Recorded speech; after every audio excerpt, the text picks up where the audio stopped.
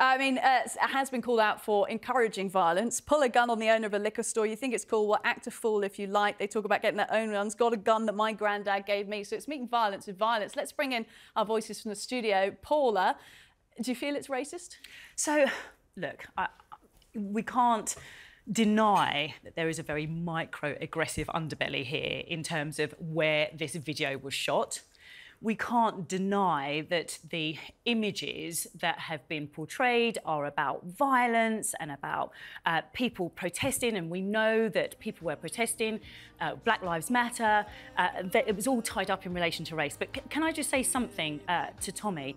Uh, I think Tommy knows this is about race because Tommy understands what the Deep South is about. Tommy understands the history of the Deep South. Tommy understands what happened uh, to the gentleman who was lynched. Tommy understands about the riots that happened in the 1940s in relation to this particular building uh, and the black men who were killed. Tommy understands all of that.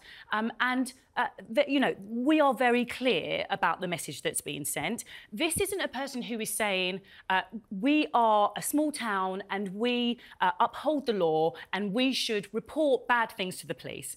This is a person who is saying, I'm a member of a gang, and if you come into my town, I'm going to deal with you. It's an eye for an eye justice. And we are past that, surely. Surely Tommy, we've outgrown Tommy, uh, that. Uh, uh, I, I, I respond to that. Are you aware of that? Are you just choosing to willfully ignore it?